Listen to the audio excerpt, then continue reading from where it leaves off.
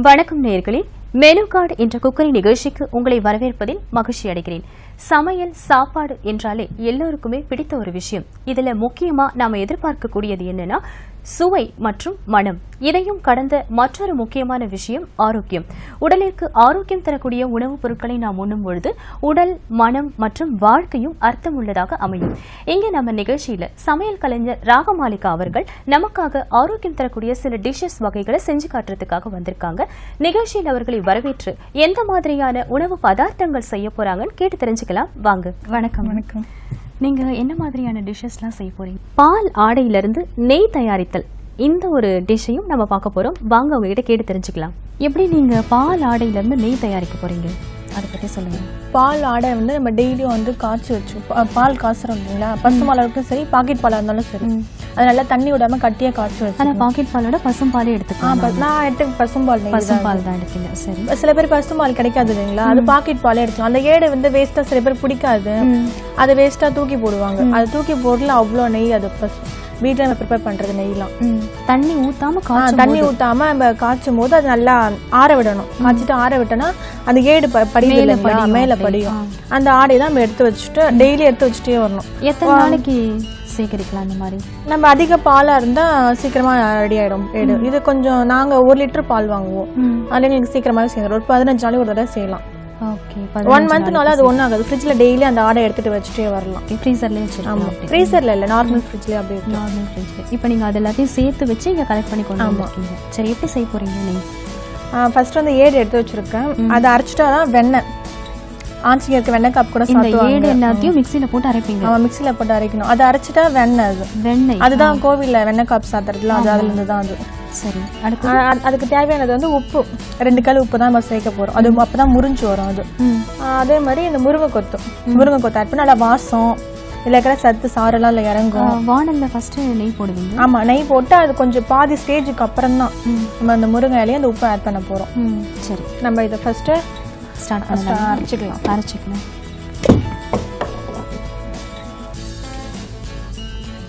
பால் ஏடு ஃபுல்லா எடுத்து மிக்ஸி ஜார்ல கொட்டி அரைக்க போறோம் பதினஞ்சு நாளுக்கு எடுத்து வச்ச பால் ஆடை. ஆமா நம்ம தண்ணி ஊத்திட்டீங்கன்னா இவ்வளவு ஏடு வராது நம்ம தண்ணி அது கட்டியா இருக்கும் போது தண்ணி ஊற்றணும் ஆமா அது ஆறுனதுக்கு அப்புறம் அதுக்கப்புறம் தண்ணி ஊற்றி எல்லாருக்கும் கொடுக்கலாம் ம் நான் இந்த நெய்யில தான் குழந்தைக்கு வந்து நெய் சாதம் ஊட்டுறது ம். சாம்பார்ல ஆட் பண்றது எல்லாமே இந்த நெய்யில தான் நீங்களே தயாரிச்சு நீங்களே தயாரிச்சு என்னோட குழந்தைக்கு அதில் தான் யூஸ் பண்ணிட்டு இருக்கோம்.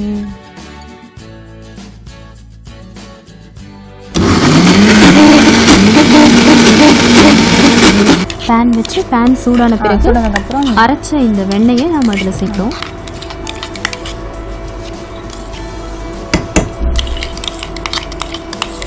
வெண்ணெய் உருகிட்டு வருது கொஞ்சம் கொஞ்சமா? ஆமா. ஆ, ச- கிண்டுறதுக்கு கரண்டி எடுங்க. பேசலாம். அது பாருங்க என் வெண்ணெய் அழகா கை ஒரு அரைச்ச உடனே பியூர் வெண்ணெயா இருந்தது. அதை நீங்க போட்டு வாணல்ல உருக்கும் போது கொஞ்சம் கொஞ்சமா உருகி உருகி உருகி உருகி நெய் தொட்டுட்டு இருக்கு. ஆமா. இது கொஞ்சம் லேட் ஆகும். நம்ம வேஸ்டா இந்த ஆடை எல்லாம் சில பேருக்கு பிடிக்காது. வீணாக்குறதுக்கு நம்ம இந்த மாதிரி சேர்த்து வச்சுட்டு வீட்டுல நம்ம நெய். அந்த வெண்ணெயில இருந்து அந்த நெய் பிரியிற ஸ்மெல்லே வருது. இது நெய் வரும்போது பச்சை வாசனை போயிட்டு நல்லா சம மணமா இருக்கும். ஆமா கொஞ்சம் கொஞ்சமா அந்த பச்சை வாசனை போறதே தெரியுது பட் நம்ம கிளறிட்டே இருக்கணுமா? கரெக்டாக இருக்கணும். நல்லா அடி பிடிக்கும். ம். எவ்வளவு நேரம் இந்த மாதிரி கிளறணும்? அது நெய் தனியா வர வரைக்கும் கிண்டிட்டே இருக்கும் நெய் நெய் அதுவா பிரிஞ்சு வரும். அது எப்படி நாம அது எப்படி கண்டுபிடிக்கனா ப்ரௌன் கலர்ல வரும். அந்த இந்த ஏடுல அந்த அதுல இருக்கிற மண்ணு மாதிரி இருக்கும். அந்த மாதிரி வர வரைக்கும் கிண்டிட்டே இருக்கணும். ஓ பிரிஞ்சு சுத்தமா கிளீனா தெரியும். மணல் மணலா நெய் வருது இல்லையா? அதனால ஓகே. மினிமம் எவ்வளோ நாள் எடுக்கும் அதுக்கு? ஒரு ஃபிஃப்டி மினிட்ஸ் மேல ஆகும். ஃபிஃப்டீன் மினிட்ஸ் மேலே ஆகும். விடாம கிளறிட்டே இருக்கணும் அடி பிடிக்காம. உப்பு அப்பதான் பிரிஞ்சு வரும். ரெண்டு கல் உப்பு சேர்த்துக்கலாம். பாதி கிளறும் பொழுதே கல் உப்பு கல் உப்பு சேர்த்துக்கலாம். கண்டினியூஸா சேர்த்துட்டே இருக்கணுங்களா? இல்ல ஒரு தடவை இல்ல இல்ல ஒரு தடவை சேர்த்தா சேர்த்தாலே போதும். அப்புறம் முருங்கை கொத்து இது- ஆட் பண்றோம். அப்புறம் வாசனையா காம்போடே போட்டுக்கலாம். நல்லா வாசமா அதுல இருக்கிற சத்தெல்லாம் இறங்கி இன்னும் சூப்பரா இருக்கும். பாதி தான் கொதிச்சு வந்திருக்கு. இன்னும் முழுசா பிரியல ஆ, இன்னும் நீங்க ஆட் பண்ணிட்டீங்க. பரவாயில்லையா? இப்- இப்ப ஆட் பண்ணாதான் அது நல்லா பிரிஞ்சு வரும் நல்லா. முருங்கை எப்பயுமே நெய்னா முருங்கை கொத்து அந்த உப்பும் கரெக்டா சேர்த்துணும் எதுக்காக அதை சேர்க்குறோம் முருங்கை கொத்து? நம்ம அந்த நெய் அப்பதான் பிரிஞ்சு வரும். அதுக்காக. பிரிஞ்சு வரதுக்காக மெயின் பர்பஸே இதுதான். ஆமா. இது மூணும் இருந்தாலே நெய் காய்ச்சல் தான். அந்த இது முருங்கைக்கீரை அதிகமா இருந்தா மேல அடிலாம் அடிக்கும். கொஞ்சம் ஸ்லோவா சிம்ல வச்சுட்டு நம்ம காய்ச்சிட்டே இருக்கணும். முருங்கைக்கீரையும் இப்போ அதோட சேர்ந்து வெந்துட்டு இருக்கு கொஞ்சம் கொஞ்சமா.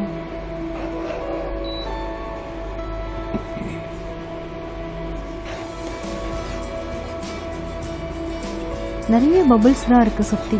ஃபுல்லா பபிள்ஸ் பபிள்ஸ் தான் இருக்கு. உள்ள என்ன இருக்குன்னு தெரியாத அளவுக்கு இருக்கு.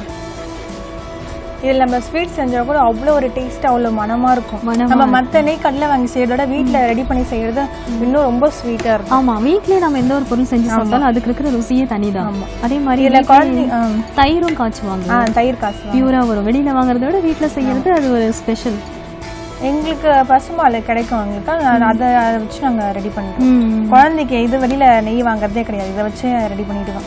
அவளுக்கு மட்டும் நெய் வச்சு கண்டிப்பா குழந்தைங்களை வந்து ஸ்பெஷலா தான் கவனிக்கணும் நம்ம நான் எப்பவுமே அவளுக்காக சேர்த்து வச்சு ரெடி பண்ணிடுவேன் ம். அவளுக்கு அந்த நெய் ஆக இது கண்டினியூவா சேர்த்து வைக்கிறது கரெக்டா வரும். அங்க தீர தீர நீங்க இங்க செஞ்சுக்கிட்டே இருப்பீங்க.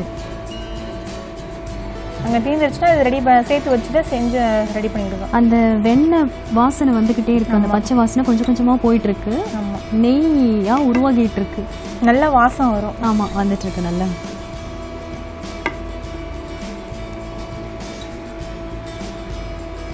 நெய் செய்முறை கேள்விப்பட்டிருக்கேன் பட் இப்போதான் பாக்குறேன் பக்கத்துல நின்று நேரடியா.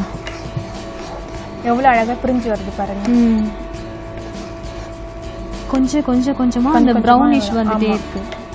இதை விட்டுட்டு வேலையெல்லாம் பார்க்க கூடாது ஏன்னா அப்படியே அடி பிடிச்சிரும் அது. கிண்டிட்டே இருக்கணும். கூட இருந்து ஆ, கிளறிட்டே கூட வந்து கிளறிட்டே இருக்கணும். கொஞ்சம் டைம் ஆகும். அப்பதான் பியூர் நெய் வருது இல்லையா? அது கொஞ்சம் டைம் எடுக்கும் நல்லா அந்த வெண்ணெய் ஃபுல்லா உருகுற வரைக்கும் நல்லா கிண்டிக்கிட்டே இருக்கணும் ஒரு நல்ல பொருள் தேவைன்னா அதுக்காக நாம கொஞ்சம் மெனக்கிட வேண்டியிருக்கு. டைம் எடுக்கும். அது இந்த விஷயத்துல உறுதியா தெரியுது.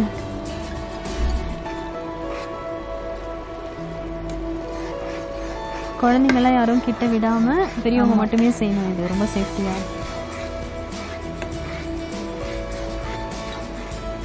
நல்ல ப்ரௌனிஷ் கொஞ்சம் கொஞ்சமா வந்துட்டே இருக்கு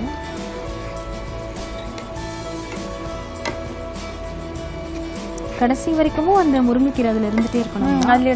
நம்ம வடிகட்டிக்கிறோம் அதுக்கப்புறம் ஃபில்டர் பண்றோம்ல அது நல்லா ஆற வச்சு அதுக்கப்புறம் ஃபில் பண்ணணும். ஃபில்டர் பண்ணணும். அது.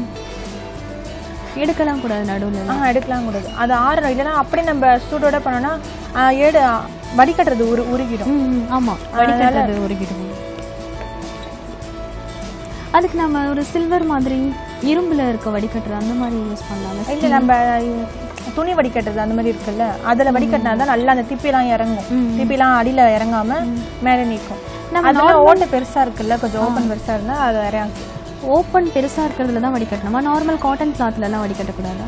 இல்ல ஓப்பன் பெருசா இருக்குல்ல வடிகட்டினா அந்த திப்பிலாம் அடியில இறங்கி இறங்கி போயிடும். சரி சாதாரண காட்டன் கிளாத் போட்டு அதுல வடிகட்டலாம்? அதுல வடிகட்டலாம். சேஃபா இருக்கும். ம். நம்ம வீட்ல டீலாம் வடிகட்டுவோம் சொல்றீங்களா ஆமா. அந்த வடிகட்டத்துல வடிகட்டினாலே போதும். போதும். அதுலயே ஒண்ணு மட்டும் இல்ல ஒரு ரெண்டு வடிகட்டு மேல வச்சு வடிகட்டணும். கடைசி பார்ட்ல கூட ஒரு தூசி இல்லாத அளவுக்கு நல்லா எசன்ஸ் இறங்கும்.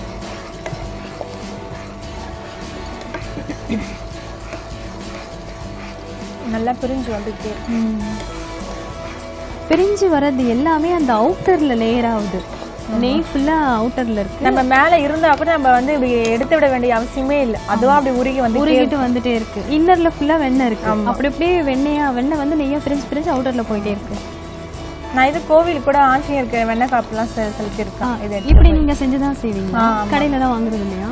எப்போலாம் வெண்ணெய் காப்பு செய்யணும்னு தோணுதோ இல்ல அரைச்சிட்டு கொஞ்சம் எடுத்துட்டு போயிடுவேன் பாப்பாக்கு மீது நெய் காய்ச்சிடுவேன் அப்ப கடையில நீங்க வெண்ணெயே வாங்குறது இல்ல. இல்ல இங்கி தான். தயிரும் பசும்பாலையும் தயிரும் தொழில் வச்சுப்போம். எல்லாமே அதுலேயே தான். தயிரும் செய்வீங்க வீட்டில்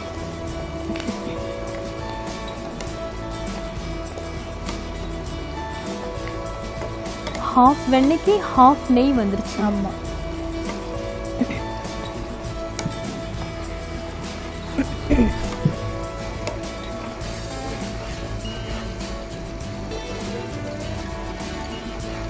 நல்லா வெண்ணெய் அளவுலாம் இருக்கும் ரொம்ப வாசமா இருக்கு பாருங்க. நல்ல வாசனை. வாசனை.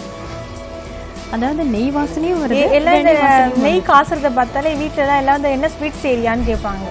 அந்த மாதிரி ஒரு ஸ்வீட் வாசனை வரும். ஆமா அந்த மனம் வந்து வீடு ஃபுல்லா பரவி பக்கத்து வீட்ல இருக்கவங்களையும் கூட்டிட்டு வருது. நிறைய பேர் என்கிட்ட கேட்டிருக்காங்க என்ன ஸ்வீட் செய்யறியா நல்லா வாசனை வாசனையா இருக்கு. தெருவில் போகவே முடியலன்னு வாங்க நெய் ஸ்வீட் வாசனை வருது.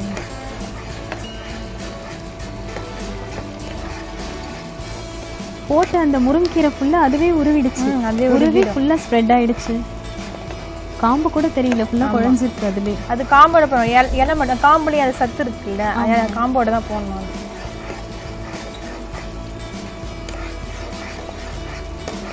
ஒரு நெய் உருகிறதுக்கு முருங்கீரையோட எசன்ஸ் தேவைப்படுது பாருங்க. இதுவும் ஒரு சயின்ஸ் ஆமா.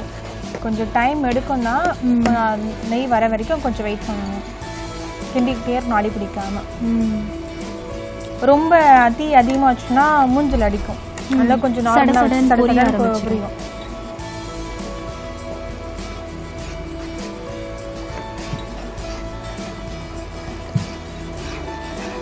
ஹாஃப்க்கு ஹாஃப் தான் வந்திருக்கு. இன்னும் ஹாஃப் இருக்கு.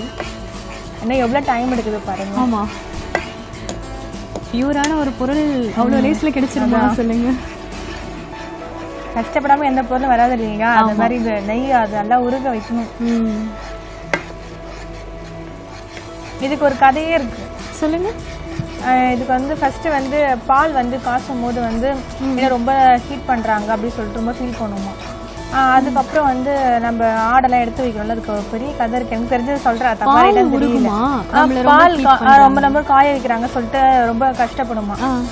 இதுக்கப்புறம் பின்னாடி உனக்கு நல்லது இருக்கு அப்படின்னு சொல்லிட்டு சொல்வாராம் கடவுள். அதுக்கப்புறம் நம்ம வந்து இந்த ஏர் தயாரிச்சு நம்ம வெண்ணெய் எடுக்கிறோமா? என்னை வந்து போட்டு ரொம்ப கஷ்டப்படுத்துறாங்க சொல்லிட்டு மறுபடியும் ஃபீல் பண்ணுமா. அதுக்கப்புறம் நம்ம பால் வந்து கொஞ்சம் கம்மி ரேட்டுக்கு தான் வாங்குறோம். ஆனா அந்த ஆடையை காய்ச்சி அப்புறம் வெண்ணெய் வந்து அதை விட கொஞ்சம் ரேட் அதிகமா போகுதா?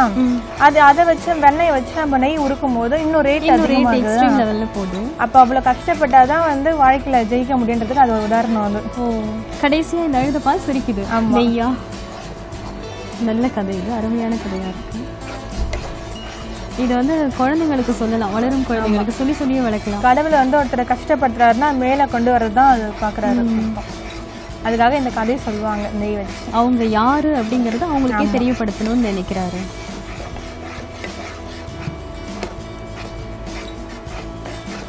பால் நெய்யாகிறதுல இவ்வளவு பெரிய கதை இருக்கு.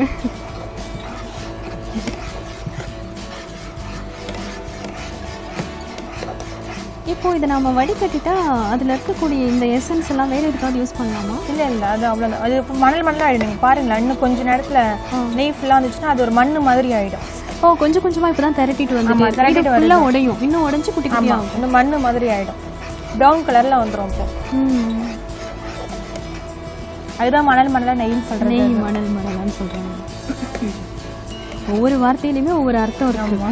உள்ள அர்த்தத்தை புரிஞ்சுக்கிட்டாலே நல்லது. நான் ஃபர்ஸ்ட் மணல் மேல அம்மா செய்த நெய் போலவே அது அப்ப எனக்கு மீனிங் தெரியாது. நான் இது காசை கத்துக்கும் போது தான் இதுதான் மணல் மேல நெய்ன்றது அம்மா செய்த நெய் போலவே சொல்றாங்கன்னு நினைச்சேன். ஆமா நாமளே செய்யும்போது தான் நமக்கு தெரியுது கண் கூட பார்க்க முடியுது. இல்ல நல்லா உடைஞ்சு வந்திருக்கு. நீங்க பாருங்க லாஸ்டா அந்த மண்ணு மாதிரியே இருக்கும் அப்படியே ஆமா.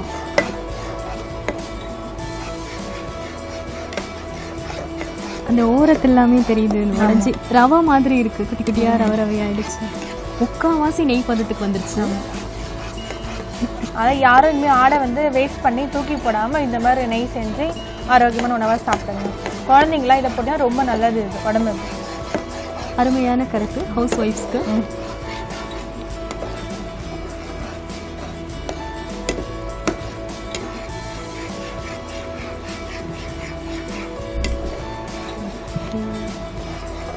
முக்காவாசி அளவுக்கு நெய் ரெடி ஆயிடுச்சு.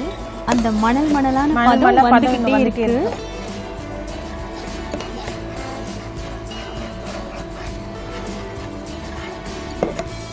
வந்து ஒரு சமையல் மாதிரி நம்ம செஞ்சுக்கிட்டு இருக்கோம். நெய் ஒரு நிறைய பேர் இது. தெரியாது இல்லைங்களா? எல்லாம் ஆடை வந்து வேஸ்டா தூக்கி போட சில பேர் பிடிக்காது. அதை தூக்கி போட்டுருவாங்க. ஃபர்ஸ்ட் எங்க வீட்லயும் அதெல்லாம் நடந்துட்டு இருந்தது. யாருமே ஆடெல்லாம் சாப்பிட மாட்டோம். அதுக்கப்புறம் எனக்கு வந்து நெய் இதில் காசுலாம் சொல்லிட்டு எனக்கு தெரிஞ்சு காசு தரலாம் ஆமா. இனிமே யாரும் அந்த ஆடையை வேஸ்ட் ஆமா, waste பண்ண பண்ணாம மாட்டாங்க. சேர்த்து வச்சு உருக்கி அதாவது வெண்ணெய் வெண்ணெயாக்கி உருக்கி நெய் உருக்கி நெய் ஆக்கிடுவாங்க முக்கியமா உப்பு முருங்கைக்கீரை முருங்கைக்கீரை கொத்தும் போடணும். அது போட்டாதான் நெய் தெரிஞ்சு ஆமாம் உப்பு ரொம்ப இல்லை சும்மா ரெண்டு கல் ரெண்டு கல் ரெண்டு கல் போதும் முருங்கை கொடுத்தா ரெண்டு இனிக்கும் கல்லுப்பு தான் போடணுமா? தூள் உப்பு போடக்கூடாதா? கல் உப்பு போட்டுறது கொஞ்சம் பெட்டராக இருக்கும். ஏன்? தூள் உப்பு நம்மளுக்கு அளவு அவ்வளோ தெரியாது இல்லைங்களா. நிறைய போட்டால் ஒரு மாதிரி இருக்கும். அது ரெண்டு கல் எடுத்து போட்டால் நமக்கு ஈஸியாக இருக்கும். அந்த காலத்துல எல்லாம் கல் உப்பு தானே யூஸ் பண்ணிட்டு இருந்தாங்க. நம்ம தான் தூள் உப்பு கல்லுப்பு தான் பியூர்னு சொல்றாங்க ஆமாம் எதுக்காக உப்பு போடுறோம் அப்பதான் பிரிஞ்சு வரும் அந்த பிரிஞ்சு வருது பிரிஞ்சு வருது ஆமா. ஈக்குவல் இருக்கோ அதே மாதிரி இப்ப பால்ல கூட நம்ம உப்புலாம் சேர்த்துட்டீங்கன்னா பிரிஞ்சு முறிஞ்சிரும் தெரியுங்களா? அந்த மாதிரி நெய் கொஞ்சம் திரண்டு வருதுன்னா கொஞ்சம் உப்பு அந்த முருங்கைக்கறியும் தேவைப்படுது. இந்த மூணு பொருள் இருந்தா ஆடை வச்சுட்டு அந்த முருங்கைக்கறியும் உப்பு இருந்தாலே நெய் காய்ச்சிடலாம். ம். எவ்வளவு ஒரு பபுள்ஸ் மாதிரி நொர வரையா வருது பாருங்க. ஒரு காஸ்ட்லியான டிஷ்ஷை ப்ரிப்பேர் பண்றதுக்கு ஒரு சாதாரண கல்லுப்பும் முருங்கைக்கீரையும் போதும். ஆமா. பிரிஞ்சு வந்துருச்சு. இப்ப மணல் மணலான நெய் ரெடி ஆகிடுச்சு. ஆகிட்டே இருக்கு. இன்னும் கொஞ்ச நேரத்துல முழுசா ரெடி ஆயிடும்.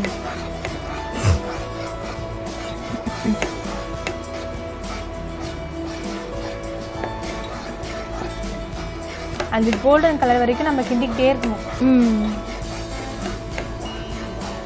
ஃபுல்லா இப்போ வெண்ணெயே இல்ல. வெண்ணெய் ஃபுல்லா போயிட்டு நெய் கலந்த பபிள்ஸ் எல்லோ கலர்ல இருக்கு. இப்போ கோல்டன் கலர் வரைக்கும் அதை நம்ம fry கிண்டிக்கிட்டே இருக்கணும். பிடிக்கும் கோல்டன் கலர் வந்தாதான் முழுமை ஆமா. முழுமை அடையுது.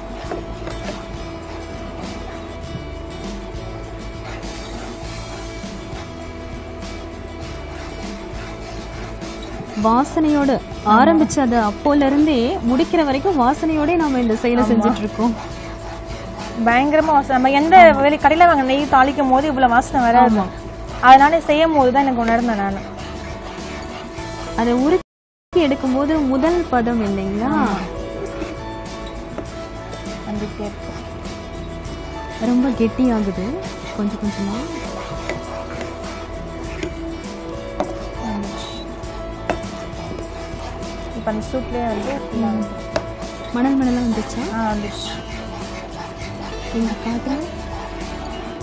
அது வடிகட்டும் போது வந்து பாருங்க மணல் மணலா. ஆ கேசரி கலர்ல இருக்கு மணல் மணலா இன்னும் வந்து இந்த சூட்லயே வந்து இன்னும் கொஞ்சம் கோல்டன் கலரா மாறும். ரொம்ப வச்சுன்னா தீஞ்சிடும். அதனால இந்த சூட்லயே நிறுத்திடலாம். ஸ்டார்டிங் டு எண்டு கிளறிக்கிட்டே இருக்கணும் அடி பிடிக்காம இருக்கிறது அது எவ்வளவு ஒரு நுரைச்சு ஃபுல்லா நெய் வந்திருக்கு பாருங்க. ஆமா. இப்போ இந்த நுரையெல்லாம் அடங்கின பிறகு அடியில இருக்க நெய் தெரியும் இல்லைங்களா?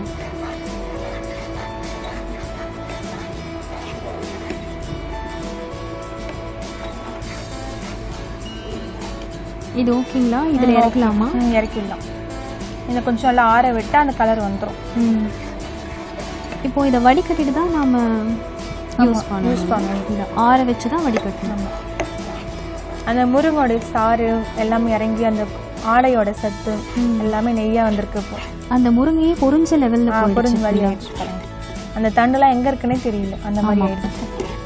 இப்போ நெய் மட்டும்தான் தெரியுது மணல் மணல் மணல். மணலா இருக்கு நீங்க சொன்ன மாதிரி ஆமா. கேசரி கலர்ல மணல் மணலான நெய் ரெடி ஆயிடுச்சு.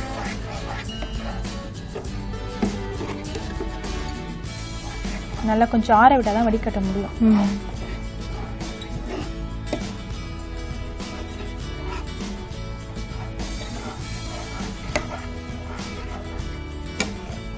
இது எந்த நம்ம கடையில் எந்த நெய் வாங்கினாலும் இவ்வளோ வாசனை வராது கண்டிப்பா. அதை நீங்க செஞ்சு பார்த்தீங்கன்னா உங்களுக்கு உங்களுக்கே தெரியும் அது. நம்ம வீட்டில் செய்யறதுக்கும் கடையில் வாங்குறதுக்கும் நல்ல டிஃப்ரெண்ட் தெரியும். கைப்பக்குவம்னு சொல்லுவாங்க. அது நம்ம வீட்ல செய்யறதுல அது நான் செய்யும் போது அது நல்லா உணர்ந்தேன். உணர்ந்தது.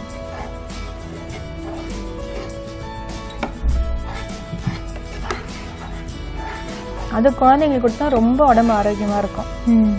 நமக்கு கண்ணுக்கு தெரிஞ்சு நம்ம நெய் காசுறோம் இல்லையா? எந்த எக்ஸ்ட்ரா எசன்ஸும் கலக்காம ஆமா. பியூராவே உருவாக்கி இருக்கும் ஆமா. நம்ம வீட்டில் வெளியில போய் அந்த எக்ஸ்ட்ரா இந்த பொருளும் வாங்க வேண்டிய வீட்டில் இருக்கிற பொருளை வச்சு பண்றோம் நம்ம. ஆடை சேர்த்து வைக்கிறதுக்கு மட்டும்தான் பாலாடை சேர்த்து வைக்க தான் டைம் எடுக்குது. மத்தது எதுக்குமே டைம் கிடையாது. உடனே செஞ்சிடலாம். இதுவும் ஒரு இப்போதைக்கு இன்ஸ்டன்ட் டிஷ் தான். இது நம்ம குழந்தைங்களுக்கு ஊட்டும் போது ரெண்டு ரெண்டு ஸ்பூன் ஊற்றி ஊட்ட சாப்பாட்டில் சேர்த்துக்கலாம். பால் சாதத்துக்கு கூட அந்த நெய் யூஸ் பண்ணிக்கலாம். பால் சாதம். நான் பாப்பாக்கு எல்லாமே கார குழம்பாகட்டும் சாம்பார் ஆகட்டும் பருப்பு சாதம் எல்லாத்துக்குமே நெய் யூஸ் பண்ணிட்டே இருப்பேன்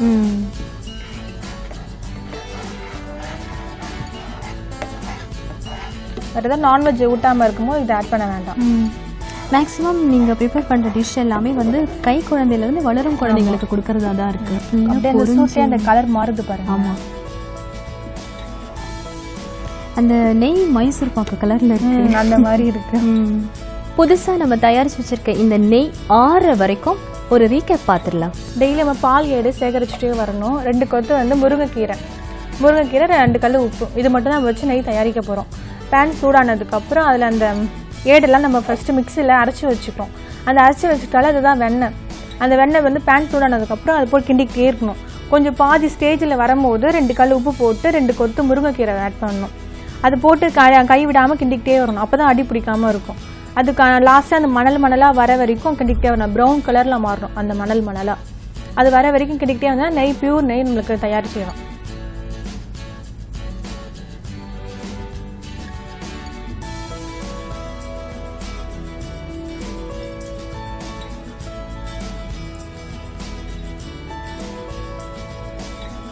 கப் வெண்ணெய் எடுத்தோம் ஆடை எடுத்தோம். அதில் நெய் வெண்ணெய் எடுத்து இவ்வளோ நெய் தான் வந்துருக்கு பாருங்கள் பியூர் நெய். நல்லா வாசமாக இருக்கும். உடம்புக்கு ரொம்ப ஆரோக்கியமான நெய் நம்ம தயாரிச்சிட்டோம். இனிமேல் ஆடை யாரை வேஸ்ட் பண்ணி தூக்கி போடாதீங்க. இதை ரெடி பண்ணுங்க.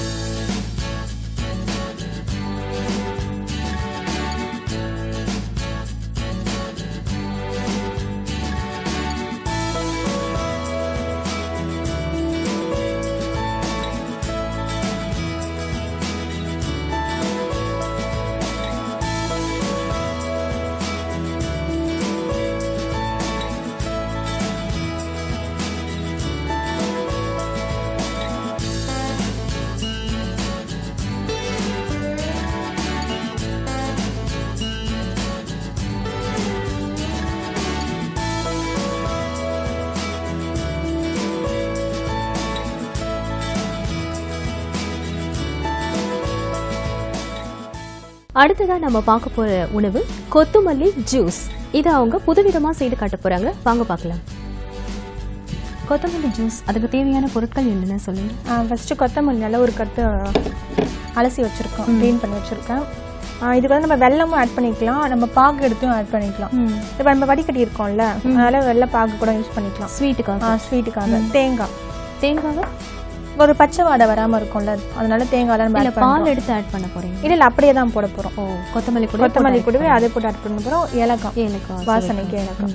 சரி ஆரம்பிக்கலாம். கொத்தமல்லி ஜூஸ் நிறைய பேர் போ போட மாட்டாங்க. இதெல்லாம் நல்லா டேஸ்டா இருக்கும். உடம்புக்கு ரொம்ப பிளட்லாம் க்ளீன் பண்ணும். ம். ரொம்ப உடம்புக்கு நல்லது இது. வெல்லம் வெள்ளை கட்டியும் போட்டுக்கலாம். வெள்ளை கட்டியும் போடலாம். பாகும் எடுத்து போட்டுக்கலாம்.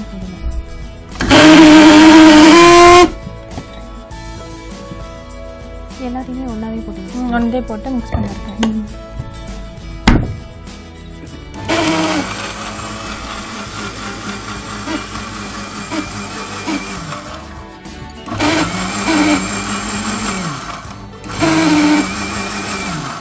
சாறுலாம் நல்லா இறங்குற வரைக்கும் நல்லா தண்ணி ஊற்றி கிளறி விட்டுக்கணும். நல்லா வாசனையாக இருக்குது. கொத்தமல்லி ஜூஸ்னு நீங்கள் சொல்கிற வரைக்கும் யாருக்குமே தெரியாது ஜூஸ்னு அவ்வளோ டேஸ்ட்டாக இருக்கும் இது. அது பச்சை வடையே வராது. அது வந்து நம்ம தேங்காய் வெல்லம் ஏலக்காய்லாம் சேர்த்துருக்கோம். ரத்தத்தை நல்லா சுத்தம் பண்ணும்.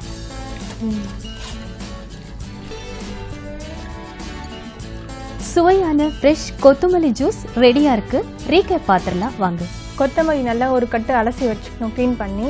அது கூட வந்து வெள்ளை ஆட் பண்ணிக்கணும். வெள்ளை வெள்ளை சேர்த்தாலும் சேர்க்கலாம் வெள்ளை பாகு சேர்த்தாலும் சேர்க்கலாம். தேங்காய் துருவல் கொஞ்சம் ஏலக்காய் வாசனைக்கு. அதை போட்டு நல்லா மிக்சியில் நல்லா மைய அரைச்சிட்டு வடிகட்டினா கொத்தமல்லி ஜூஸ் தயார். அடுத்ததா நம்ம பார்க்க போற உணவு பருப்பு அடை. எப்படி செய்றாங்கன்றத பார்க்கலாம் வாங்க. நம்ம ஃபஸ்ட்டு வந்து கால் கிலோ அரிசி எடுத்துக்கிறோம். இட்லி அரிசி. கால் கிலோ எடுத்துக்கிறோம். அப்புறம் வந்து நூறு கடலப்பருப்பு எடுத்துக்கிறோம். நூறு கடலப்பருப்பு நூறு பருப்பு ஐம்பது உளுந்து எடுத்துக்கிறோம். இதை வந்து நைட்டில் நைட்டே ஊற வச்சிடணும். ஒரு ரெண்டு மணி நேரம் ஊற அப்புறம் காலோட ஊற வச்சுக்கலாம். நம்ம காலை ரெடி பண்ணோம்னா ஒரு நாலு மணிக்கு எழுந்து ஊற வச்சா போதும். ஓ பருப்பு முன்னாடியே ஊற பருப்பு முன்னாடியே ஊற வச்சு எத்தனை மணி நேரம் ஊறணும்? டூ ஹவர்ஸ் ஊறினாலே போதும். டூ ஹவர்ஸ் ஊற வச்சு அதுக்கப்புறம் அரைக்கணும். ஊற வச்சு நம்ம கிரைண்டரில் அரைச்சி வச்சுக்கணும். அரைச்சி வச்சு அந்த மாவு எடுத்துருக்கோம். அது கூட என்ன அரைக்க சேர்த்து அரைக்கணும்னா அந்த வரமிளகா பத்து போட்டுக்கணும். பத்து வரமிளகா கொஞ்சமா பெருஞ்சிருக்கும் வாசனைக்கு பெருஞ்சிருக்கும் வறுத்து போடுறீங்களா? இல்ல அப்படியே பச்சையாவே இது இந்த ஊற வச்சிருக்கிறது கூட அரைச்சிடணும். தேவையான அளவு உப்பு. சேர்த்து வச்சு இந்த மாவு ரெடி பண்ணி வச்சிருக்கோம். தோசை ஊத்துற பதத்துக்கு ஆமா தோசை ஊத்துற பதத்துக்கு அரைச்சி வச்சிருக்கோம். இப்போ நம்ம வந்து தாளிக்கிறது தாளிச்சு கொட்டுறதுக்கு பேன் சூடு பண்ணலாம் என்ன? எந்த ஒரு சமையலுக்கு ஒரு செகண்ட் யூஸ் பண்ணது ரொம்ப நல்லது. பேன்ல எண்ணெய் ஊற்றியாச்சு எண்ணெய் சூடாகணும். தாளிக்கிற அளவுக்கு எண்ணெய் ஊற்றணும் கிலோ அளவு எண்ணெய். எண்ணெய் காஞ்சதுக்கு அப்புறம் பெரும் எண்ணெய் சூடாயிடுச்சு. கடுகு பொரிஞ்சோடனே கருவேப்பிலை சேர்த்துக்கலாம். நம்ம கொஞ்சம் வந்து கடலப்பருப்பு ஆட் பண்ணிக்கலாம். தோசைக்கு நல்லா இருக்கும் எண்ணெய் காஞ்ச உடனே ம், கடுகு எண்ணெய் காஞ்ச உடனே உளுந்து கருவேப்பிலை கடலைப்பயிறு சேர்த்து நல்லா வதக்கணும். பொன்முருவல் ஆகிற வரைக்கும். இதை நறுக்கி வச்சிருக்க ஆனியன் சேர்த்துக்கலாம். அந்த கடுகு பொரியும் போது ஆனியன். சேர்த்துக்கணும்.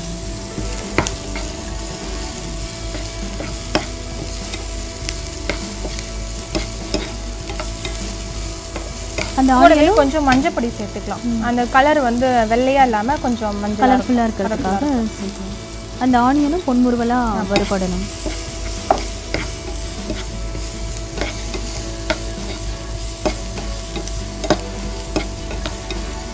நம்ம இந்த பருப்புலாம் வே வே ஊற வச்சு செய்யறதுனால ரொம்ப தோசை ஆரோக்கியமான உணவா இருக்கும் இது நம்ம பருப்புல எல்லாம் பரு- பருப்புல நிறைய ப்ரோட்டீன் சத்து இருக்குங்களா அதெல்லாம் இந்த பருப்பு தோசை செய்யும்போது கொ- குழந்தைங்க ரொம்ப விரும்பி சாப்பிடுவாங்க. ரொம்ப ஆரோக்கியமான உணவும் கூட. ம். ருசியாகவும் ஆ, இருக்கும். ருசியாவும் இருக்கும். நீங்க ஒரு செய்ய டிஃப்ரெண்டா டெய்லி வந்து மாவு தோசை சாப்பிட்றதுக்கு இது ஒரு டிஃப்ரெண்டா இருக்கும். ஆமா. அப்படியே வதக்கி ஆ, மாவுல கொட்டிக்க வேண்டியதான் பேன் சூடாயிடுச்சு. கொஞ்சமா எண்ணெய் போட்டுக்கலாம். எண்ணெய் போட்டுக்கலாம்.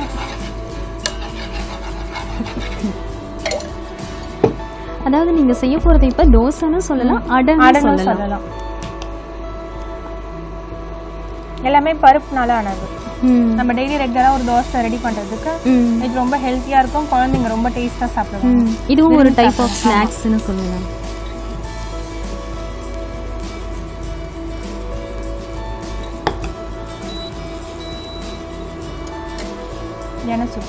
அந்த மஞ்சத்தூள் போட்ட உடனே வெள்ளையா இருந்த மஞ்சள் ஆயிடுச்சு.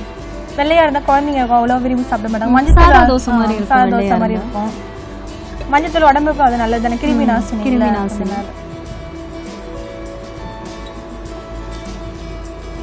எவ்வளவு நிமிஷம் வச்சிருந்து அதுக்கப்புறம் திருப்பி ம், கொஞ்சம் திரு தோசை பதம் தான். தோசை பதில் கொஞ்சம் அடியில பிடிக்காம வர வரைக்கும். ஒரு நிமிஷம். கொஞ்சம் இன்னும் கொஞ்சம் வேகலாம்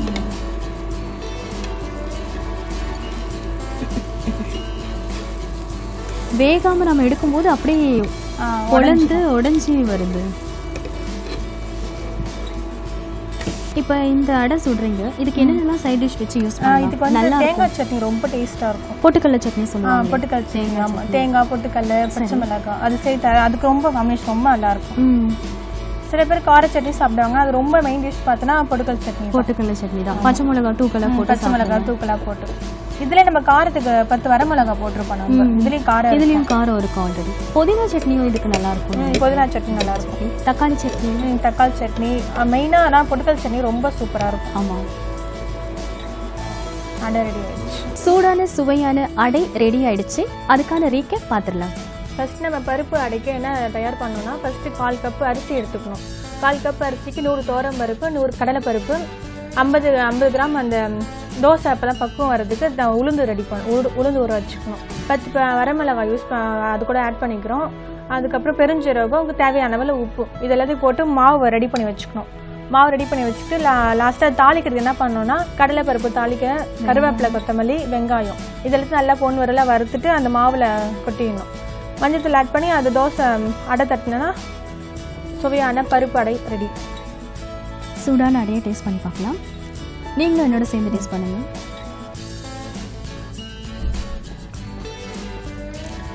ரொம்ப சூப்பரா இருக்கு. ஈவினிங் டிஃபனுக்கு வந்து சரியான ஒரு காம்பினேஷன் இதுதான். இதுக்கு நீங்க சொன்ன மாதிரி பொட்டுக்கடலை சட்னியும் ஒரு ரொம்ப சூப்பராக இது. ரொம்ப இருக்கு. குழந்தைகள்ல இருந்து வளரும் பருவம் வரைக்குமே நிறைய டிஷ்ஷஸ் செஞ்சு கொடுக்கலாம். உடலுக்கு ஆரோக்கியமானதாக இருக்கக்கூடியது ரொம்ப முக்கியம். மீண்டும் உங்களை வேறொரு நிகழ்ச்சியில் சந்திக்கிறேன். நன்றி வணக்கம்.